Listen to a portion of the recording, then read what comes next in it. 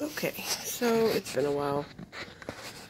Yeah, I think mostly because, you know, same shit, different day kind of thing, and nothing's really changed.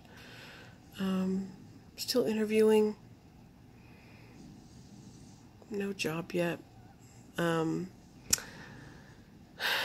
so on Sunday, I will be going to the uh, Amazon warehouse, I guess.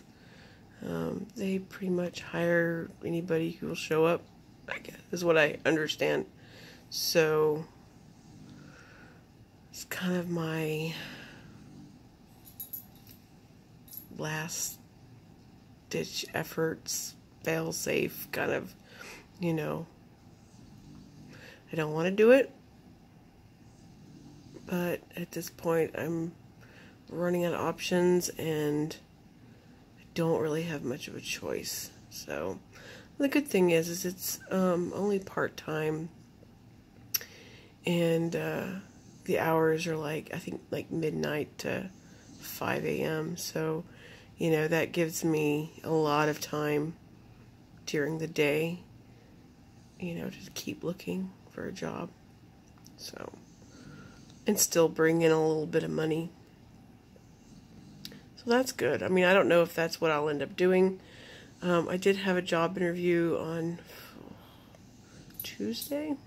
it was Tuesday, and um, I was really, I was really hopeful. I really was. I was excited, and I, I've been excited about a lot of interviews I've done, and and it's just it's becoming this. You know, I don't want to get excited about anything because so far, nothing just disappointment. So, I mean, he said he would be calling people on Thursday. Today's Thursday. Didn't get a call. Doesn't surprise me. I never do. um, I mean, I guess there's still a chance that I'll get a call tomorrow, but I doubt it. So, um, it's been a rough week. Um, our one of our dogs died. She'd been sick for a while, you know, but it it, it hit really fast. Um, she was sick for the last month. I mean, I don't have any idea how she had been feeling up to that point because you know dogs can't talk but her symptoms became very obvious about a month ago. Um, it was scary. I mean, I knew it was coming.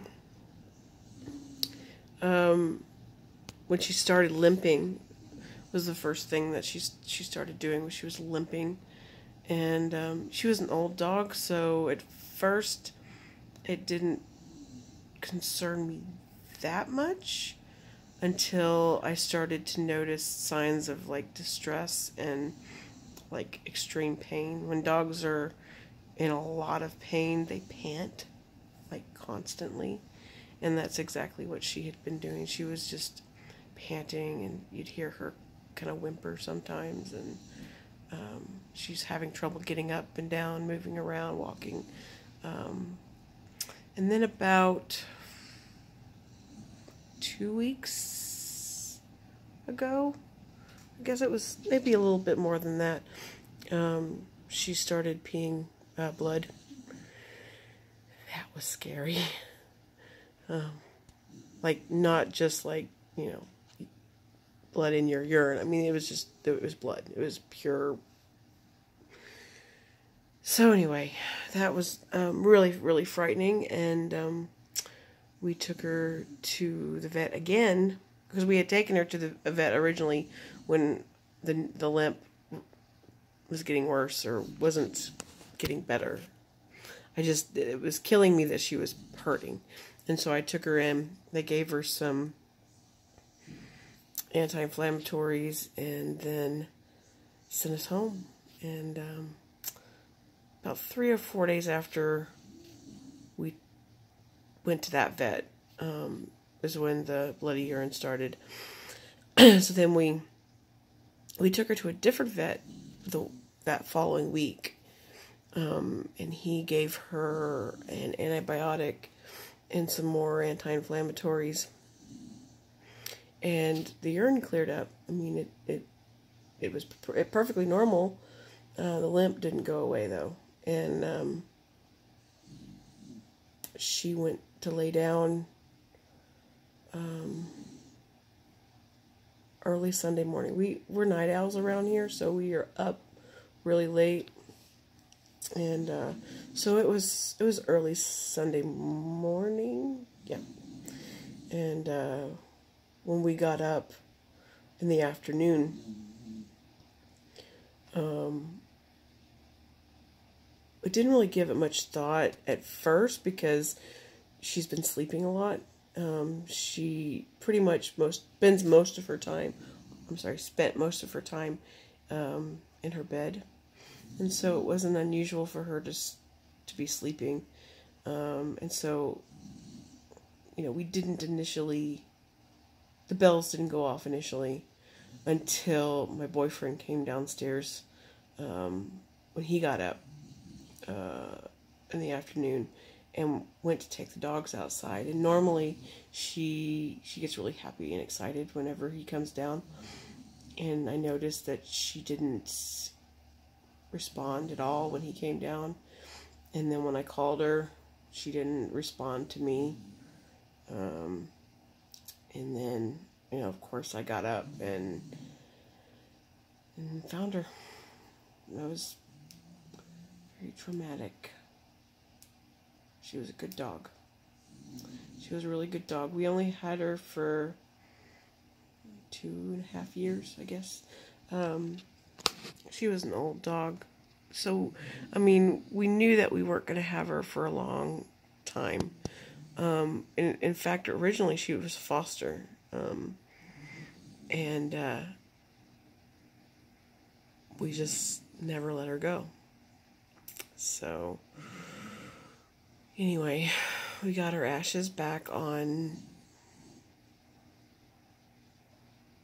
yesterday. Yeah, we got them back yesterday. She's the biggest dog I've ever had. I've never had most of my dogs um, usually are below 50 pounds. Um, generally, when I get when I have dogs, um, she was almost 70 pounds. So she was certainly the b- biggest dog I've ever had. Um, anyway, so I, I felt really bad. My boyfriend had to pick her up and carry her to the car. Um, and that was that was horrible. Oh, I know it was horrible for him, but you know, we took her to the vet um, so they could uh, hold on to her until she could be cremated. Um, it was a Sunday, so there wasn't really anything else we could do.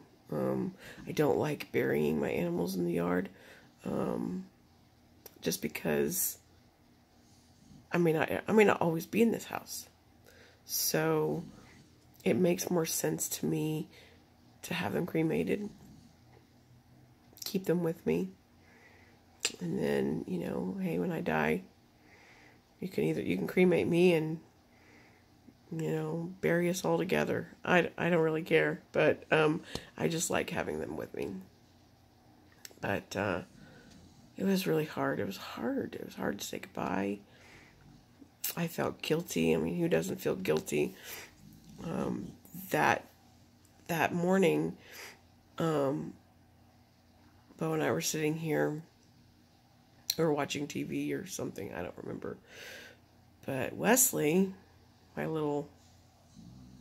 Where'd he go? Where'd he go? No? There he is. Say hi, Wesley. You tell them all that you're a good boy. Hmm? He's a good boy. He started acting peculiar. He started acting strangely. Um, early Sunday morning, uh, he um, he ran to her bed and was very excited. Um, and we just thought he was being we just thought he was being a jerk basically that he, he wouldn't leave her alone but now looking back of course i know why he was behaving that way he's the only dog that no not that he noticed but i think he is the only dog that is sensitive to that type of thing and um, i think he knew and he was trying to alert us to it, but yeah, we didn't get we didn't catch it. So I felt I felt guilty about that because he tried and we fussed at him and we told him to leave her alone and um, let her sleep. So, I mean, you like to think, I mean, I personally believe she had a heart attack when we first got her. Um, she tested positive for heartworm, and um, it was agreed upon between us and the vet that because of her age, doing the harsh um, treatment on her would be almost as dangerous as the heartworms themselves. So we did what they call um, slow kill, which basically means that you give you give them, you know, two Heartgard um, heartworm preventative pill um, chews twice a month. So she would get a heartworm pill um, uh, once every two weeks. And we did that for as long as we've had her. But, you know, I think that they comprom- compromised her heart. And she had fought that infection um, and she was, I think she was fighting something else as well. And her heart just gave out. I mean, I wish I could have been there. I mean, I wish I, I, I I've, I've got this thing with my dogs. I, I, I hate the idea of them dying alone. And technically, she wasn't alone. We were here. But, um, I don't know. They're they're just you want to be holding them. You know, you want them to feel like they're not alone. Sorry. Anyway, it's been a rough week. um, she was a good dog. She was a very timid dog, but um, I think the last year of her life, she was very content and she felt very safe and she was happy. So really couldn't ask for more than that. Um, we're to miss her. I mean, it's funny when you have dogs. Um, there's something always that's unique to them. Um, there's just there's it doesn't matter how many dogs you have um, over the course of your life. Um, there's always something that's very unique to them, and um, You'll never replace them. You'll never find another one just like them because every dog is different. You know, everybody has their own personality, but um, she loved her toys. She she had a total of four toys that she cherished in the time that we had her and she didn't destroy them. I mean, they were her babies. She carried them around when she was super excited and happy. She would squeak her toy. Um, and that I've never had a dog that was like that. And she was the only one. And, and you know, of course, now we have all these little dog toys laying around the house that were hers. And um, she was really the only one who um, loved them and I we haven't picked them up yet.